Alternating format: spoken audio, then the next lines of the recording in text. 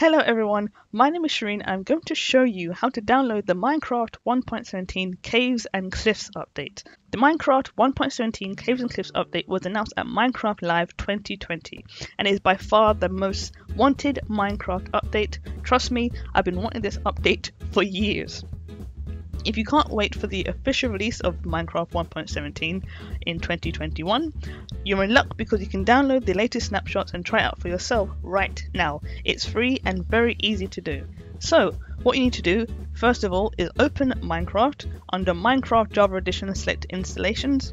Under Versions, select Snapshots. Select New, name the installation whatever you like, create a new directory so that your files don't become conflicted, Fill in your preferred settings and then press create. Go back to the play tab in the bottom left, select your 1.17 installation and press play.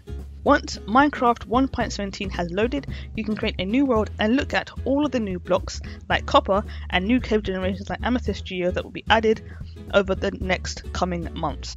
Make sure you also check the official Minecraft website every Wednesday for new snapshots. So that is how you can play Minecraft 1.17 right now. I hope this video has helped you. If it did, please subscribe if you haven't already.